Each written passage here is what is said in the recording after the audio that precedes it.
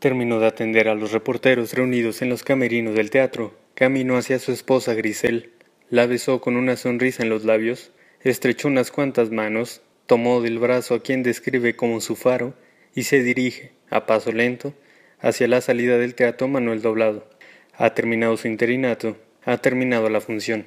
Cuando Octavio Villasana, con más de siete décadas a cuestas, asumió la presidencia municipal en marzo de este año, Muchos sabían que ocupaba el cargo por orden y capricho de su antecesora Bárbara Botello, y por ende llegaba con las manos atadas, que era tarde para corregir un rumbo que fue torciéndose durante 29 meses. Y así fue. Pero este miércoles, el experimentado neurocirujano originario de Veracruz, ahí está, parado con firmeza al centro del escenario del teatro, flanqueado a su derecha por el gobernador Miguel Márquez y el dirigente estatal del PRI Santiago García, mientras que a su izquierda está el desdibujado y fracturado ayuntamiento que termina el próximo 10 de octubre. Sin la atención ni la atención que generaba Bárbara Botello, rindió su primer y último informe de gobierno, con lo cual cierra su interinato que duró siete meses, pero que aún deja dudas de quién realmente gobernó, ella o él. De su interinato y unos pocos meses más, lo que Villasana pudo presumir fue la creación de un nuevo reglamento de adquisiciones, el cual aún no entra en vigor, y diversas obras públicas. De los logros en materia de seguridad, mejor ni hablar. El histórico recinto luce lleno en la parte inferior.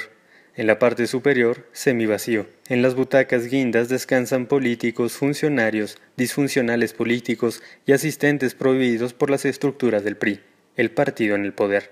El evento, como Villasana, es sobrio, sencillo, práctico. Muy atrás quedaron las taquizas, los conciertos con música de banda y las hostilidades hacia el gobierno del Estado, estampas infaltables de los informes de gobierno que rindió Bárbara Botello. Tras media hora de frías y soporíferas cifras, la solemnidad se vuelve emotividad. Villasana, con su voz tenue y entrecortada, agradece el apoyo de su familia. Le pide a su hijo Octavio que suba al escenario y le regala una rosa blanca. Todos aplauden. El alcalde apura un trago de agua para que su voz salga de entre los nudos que tiene en la garganta. Ahora, la destinataria de sus palabras es su esposa Grisel, señora de pelo corto y cano que lo observa orgullosa desde las primeras filas. A mi esposa Grisel.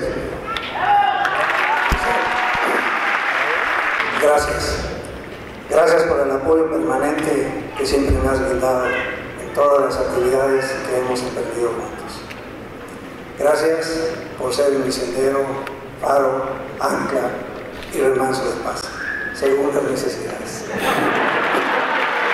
Los aplausos abalanzan sobre el presidente municipal entre algunas voces femeninas que lo vitorean y le piden que siga con su romanticismo. Finalmente, con delicadeza propia de un cirujano, Villasana cierra su participación evocando al político y poeta cubano José Martí con su poema Cultivo una rosa blanca. Así, se echa un minuto de aplausos a la bolsa, y así concluye una turbulenta travesía que él no capitaneó, pero que le tocó y quiso terminar. Fernando Velázquez, Zona Franca.